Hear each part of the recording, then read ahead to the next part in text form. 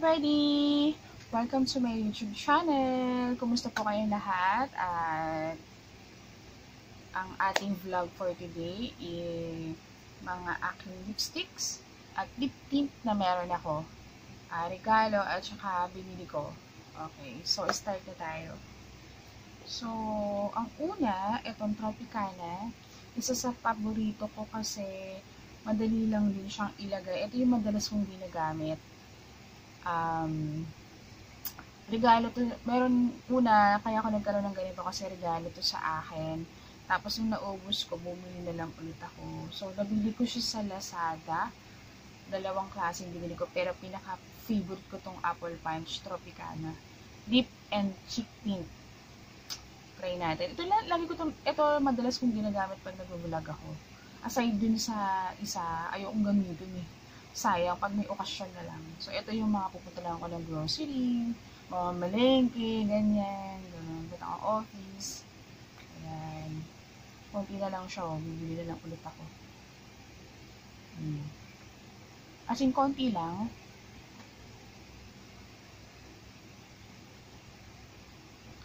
As in, konti lang nalagay ko.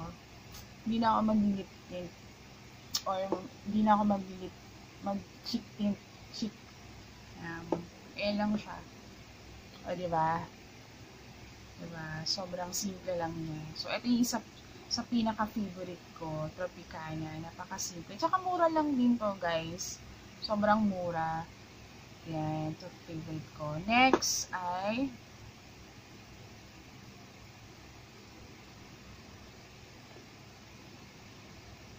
etong ito, regalo to sa akin flat muff, ano? Fluff matte.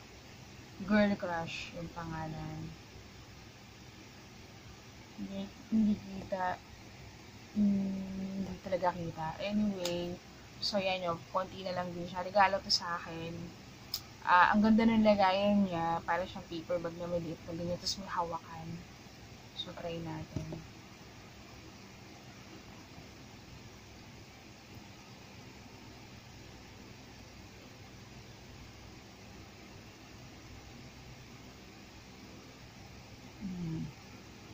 O, pa, parang magkakakulay lang naman siya. Kasi yan, may nga ako sa ganitong kulay. Yung mga natural looks. Tsaka simple lang. Ayan. Mm, diba? Pack. Simple lang.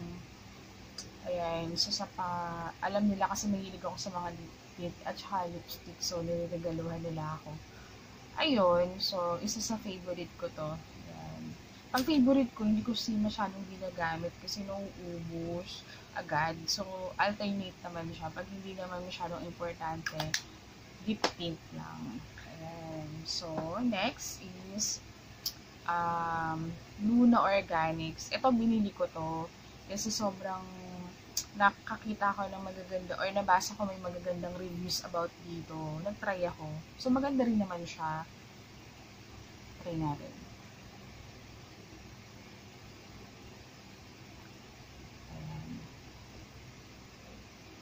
Next. Konti lang kasi hindi kailangan siya madami.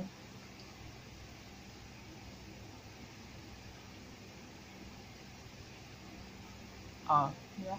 Parang wala lang din. Tapos flash on.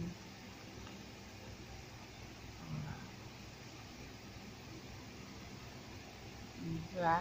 Mm, pack. Mm, yan. Yan yung mga simpleng looks lang.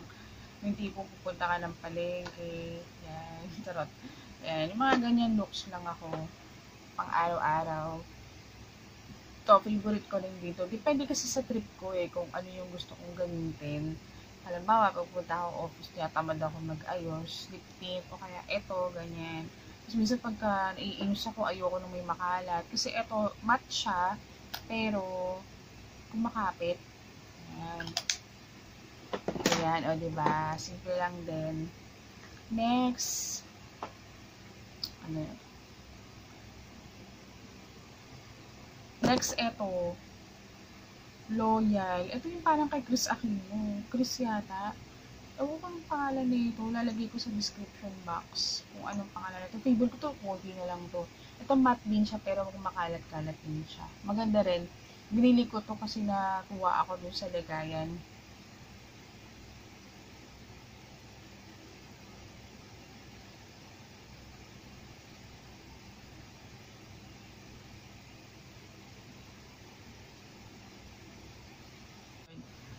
Ito din, maganda rin to sa akin kasi matte din. Pero may mga konting steam. Pero favorite ko din siya. Ewan ko, tuntua ako sa kanya pag gusto ko to. Pag ginagamit ko to pag may okasyon. Ayan. Tsaka kapag ka ko ang ganda-ganda ko ngayong araw na to, mga ganong wa effect, mga ganong paandar. Okay, so yan. So yung tsura niya. Simple lang din, diba? And next, ang aking pinaka nakakatuwang regalo sa akin. Tanggalin na muna natin to. O, hindi hirap tanggalin. Kasi, matte. Hmm.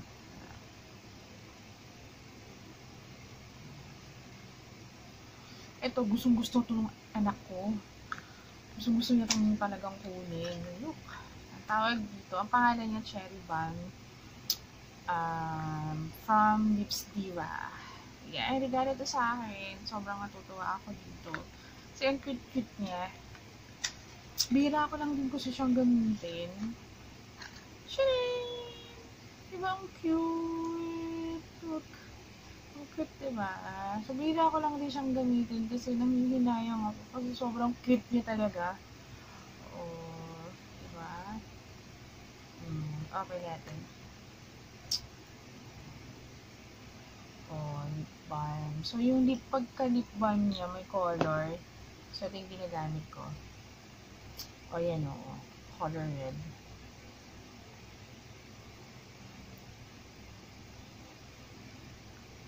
Tapos, mabango siya.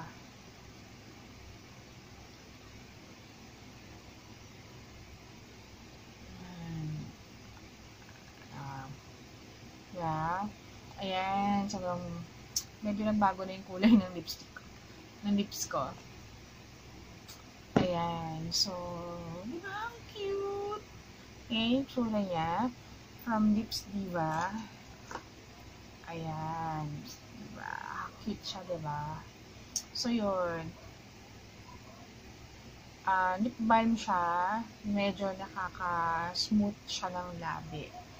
Ayan. Ito, ginagamit ko to pag medyo dry yung lips ko.